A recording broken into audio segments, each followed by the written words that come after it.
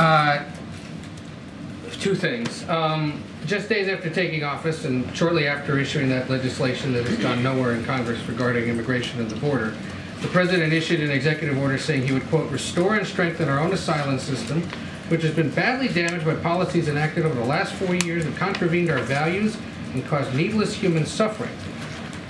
Our reporting, others' reporting indicates the White House, through sources in the administration, is open to an authority that would allow it to suspend asylum processing when there's a spike in border crossings.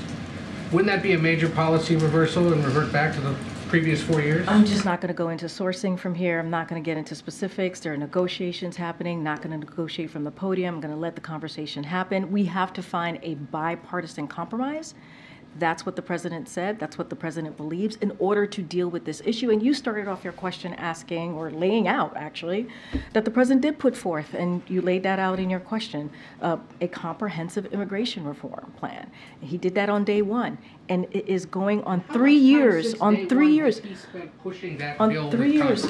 Here's the Because he's met with them on foreign policy, Right. on fiscal cliffs, And we on have, budget, and it's we- never been about No, hear immigration. you, Ed, And we have regular conversations with congressional leaders and congressional staff about an array of issues, including this.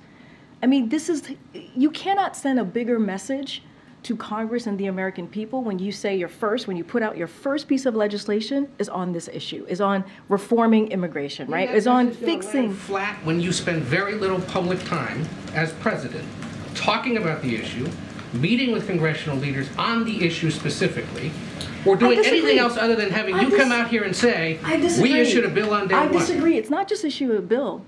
Like not too long ago, back in the spring, we put forth policies on trying to make sure that because because Congress didn't help, on trying to put forth policies that tried to make the immigration system humane, right? Humane and actually dealing with the issue that we're seeing at the border. We have taken policy actions after policy actions without without the help from Congress. Without, right? And so that is that is being consistent here. And when you put forth the first piece of of, of, uh, of legislation to be on this issue that has been broken for decades, I mean that's what he did as president. That's taking it very very seriously. Mitch McConnell alluded to something, a conversation he had with the president last week. I'm not asking you for names, Mm-hmm. but can you at least confirm that the president has spoken with lawmakers directly on the ongoing talks to get the supplemental The president has been in regular touch with congressional leaders on this issue, and obviously does so has his staff.